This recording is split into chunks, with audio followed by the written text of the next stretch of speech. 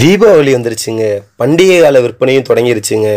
ஷோரூம்களில் எப்படி நடைபெறுதோ அதுக்கு ஈடாக ஆன்லைன் விற்பனை தளங்கள்லையும் இந்த விற்பனை வந்து சூடு பிடிக்க ஆரம்பிச்சிருச்சுங்க. பண்டிகை கால விற்பனை அப்படின்னாலே நம்ம வாடிக்கையாளர் மத்தியில் தள்ளுபடி விற்பனையும் தவணை முறை விற்பனையும் எதிர்பார்க்கறது வழக்கங்க. ஏன்னா அந்த சமயம் தான் சலுகைகள் வந்து அதிகமாக இருக்கும் அப்படின்னு நம்ம எதிர்பார்த்துக்கிட்டு இருப்போங்க. இந்த தவணை முறை விற்பனை அப்படின்னா நம்ம கிட்டக்க இருக்க ஒரே ஒரு அச்சம் என்ன அப்படின்னு பார்த்தீங்கன்னா இந்த வட்டி விகிதம் தாங்க அந்த வட்டி விகிதம் தான் அனைவர் கண்களையுமே உறுத்துங்க. ஆனால் இப்போ அந்த உறுத்தலே இல்லாமல் நோ காஸ்ட் இஎம்ஐ அப்படின்ற பேரில் ஆன்லைன் விற்பனை விளம்பரங்களை வந்து நம்ம பார்க்க முடியுதுங்க. அது என்ன நோ காஸ்ட் இஎம்ஐ அப்படின்றத தாங்க நம்ம பார்க்க போகிறோம் வாங்க பார்க்கலாம். இந்த மாதிரி அந்த மாதிரி கான்செப்ட்ல தான் வீடியோ போடணும் அப்படின்றது இல்லாம நம்ம முன்னோர்களோட அறிவுத்திறனையும் நம்ம பழமையோட அறிவியலையும் போட்டுறதாங்க நம்ம சேனலோட நோக்கமே. வாங்க முடியும் தம்பி தம்பி. உனக்குள் இருக்கும் உன்னை நம்பி. நோ காஸ்ட் இஎம்ஐ இந்த தவணை முறையில் வந்து ப்ராசஸிங் ஃபீஸும் மாத தவணைக்கான வட்டி இந்த ரெண்டையுமே வசூலிக்க மாட்டாங்கங்க. ஒரு பொருளை பன்னெண்டாயிரம் ரூபாய்க்கு நீங்கள் ஆறு மாத தவணையில் வாங்குனீங்கன்னா மாதத்துக்கு ரெண்டாயிரம் ரூபா மட்டும் செலுத்தினா போதுங்க. ஷாப்பிங் செய்கிறவங்களுக்கும் குறைந்த செலவில் நிறைய பொருட்களை வாங்கும் வாய்ப்பு கிடைக்குதுங்க. இதனால் விற்பனையும் களை கட்டுங்க. எப்படா வட்டி இல்லாமல் தவணை முறையில் தர முடியும்? ஒருவேளை விலையை ஏற்றி விற்பாங்களோ பொருள் தரமற்றதாக இருக்குமோ?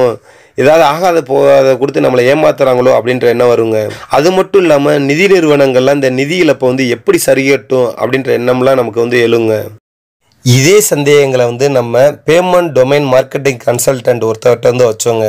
அவர் சொன்ன பதில் என்ன அப்படின்னு பார்த்தீங்கன்னா வட்டி இல்லாத தவணை அப்படின்றத தான் நம்ம நோ காஸ்ட் இஎம்ஐ அப்படின்னு சொல்கிறோங்க இந்த வட்டி இல்லாத தவணையை வந்து விற்பனை செய்கிறதுல ஆன்லைன் விற்பனை இணையதளங்களுக்கு வந்து எந்தவித பிரச்சனையுமே இல்லையாங்க.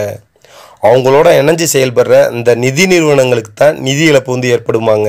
இந்த இழப்பை வந்து ஈடுகட்டுற வேலையை தான் இந்த ஆன்லைன் விற்பனை இணையதளங்கள் வந்து செய்யுதுங்க ஏன்னா இந்த மாதிரியான சலுகைகள் வந்து கொடுக்குறப்ப விற்பனையோட வாடிக்கையாளர்களோட எண்ணிக்கையும் பன்மடங்காக பெருகும் அப்படின்றதுனால தாங்க அது எப்படி அப்படின்னு பார்த்தோம்னா ஒருத்தவங்க வந்து சில்லறை விற்பனை கடையோ இல்லாட்டினா ஷோரூமோ வச்சுருந்தாங்கன்னா அந்த இடத்துக்கான வாடகையும் பணியாளர்களோட சம்பளம் அப்படின்னு பல கூடுதல் செலவுகள் வந்து இருக்குங்க. ஆனால் இந்த ஆன்லைன் விற்பனையில் அந்த செலவு வந்து இல்லைங்க.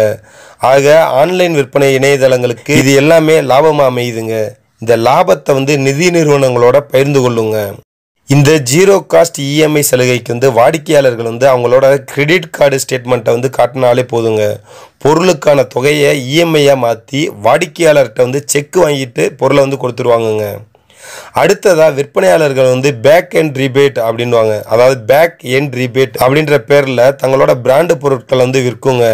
அந்த விற்கிற எண்ணிக்கைக்கு ஏற்ப விலையில் வந்து குறிப்பிட்ட சதவீதம் வந்து தள்ளுபடி வந்து தருவாங்கங்க. ஏற்கனவே பன்மடங்கு விற்பனை இருக்கிறதுனாலையும் இந்த கமிஷன் தொகையும் அதிகமாகவே இருக்குங்க. இதையும் நிதி நிறுவனங்களோட ஷேர் பண்ணிக்கிடுவாங்கங்க இது வரைக்கும் விற்பனை மூலம் கிடைக்கிற லாபங்களை வந்து பார்த்தோங்க. அடுத்ததா இந்த அதிரடி தள்ளுபடி விற்பனை மூலம் அதிக வாடிக்கையாளர்கள் வந்து கிடப்பாங்கங்க. இந்த விற்பனையில் ஈடுபடுற நிதி நிறுவனங்கள் வந்து இந்த வாடிக்கையாளர்களுக்கு வந்து பர்சனல் லோன் வந்து தருவாங்கங்க. அதே மாதிரி அந்த நிறுவனங்களுக்கான இஎம்ஐ கார்டையும் விற்பனை செய்கிறதுனால இந்த வாடிக்கையாளர்களை வந்து தங்களோட நிரந்தர உறுப்பினர்களாக மாற்றிடுவாங்கங்க இந்த கார்டு மூலமாக மேலும் பல பொருட்களை வந்து அவங்க வந்து வாங்குவாங்கங்க. அதுக்கும் தவணை முறையில் விற்பனை வந்து நடக்குங்க. இந்த வாடிக்கையாளர்களோட தொடர்பு வந்து குறைஞ்சது ஒரு பத்து வருஷமாவது தொடருங்க. அதனால் இவங்களோட சிபில் ஸ்கோர் அடிப்படையில் வந்து வீட்டுக்கடன் கல்விக்கடன் இதெல்லாம் தர்றதா கூறி தொடர்ச்சியாக வந்து பலன் வந்து அடைவாங்கங்க. இது எல்லாத்துலேயுமே பார்த்தீங்கன்னா வட்டியை சரியாக வசூலிச்சிருவாங்கங்க. இப்படி இப்படியா ஜீரோ காஸ்ட் இஎம்ஐ மூலமாக தொடர்ச்சியாக பல நன்மைகளை வந்து இந்த நிதி நிறுவனங்கள் வந்து பெற இயலுங்க. விற்பனை அதிகரிக்கிறதுனால ஆன்லைன் விற்பனை தளங்களுக்கும் லாபம் வந்து கிடைக்குதுங்க. இன்னொரு பக்கம் வட்டி இல்லாத தவணை அப்படின்றதுனால இது வந்து வாடிக்கையாளர்களுக்கும் லாபம் வந்து தரக்கூடியது தாங்க அனைத்து தரப்புக்குமே மகிழ்ச்சி தரக்கூடிய விற்பனை முறை தான் இதுங்க. இதுல வந்து விலையை அதிகப்படுத்தி விற்பாங்களோ போலியான பொருளா இருக்குமோ அப்படின்ற அச்சப்பட தேவையில்லைங்க. விற்பனையும் வாடிக்கையாளர் அதிகரிப்பும் தாங்க இதோட சூட்சமமே.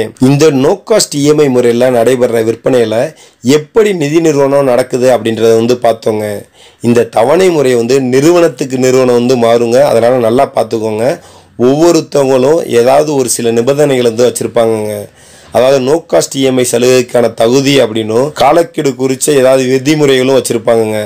அதனால் அந்த நிபந்தனைகள்லாம் என்ன அப்படின்றத பொருளை வாங்குறதுக்கு முன்னாடியே தானே நம்ம வாடிக்கையாளர்கள் வந்து கவனத்தோட கேட்டு வாசித்து தெரிஞ்சுக்கிறனுங்க என்னங்க இப்போ இந்த நோ காஸ்ட் இஎம்ஐனா என்ன அப்படின்றதையும் இதனால் யாருக்கு லாபம் யாருக்கு நட்டம் அப்படின்றத தெரிஞ்சிருப்பீங்க.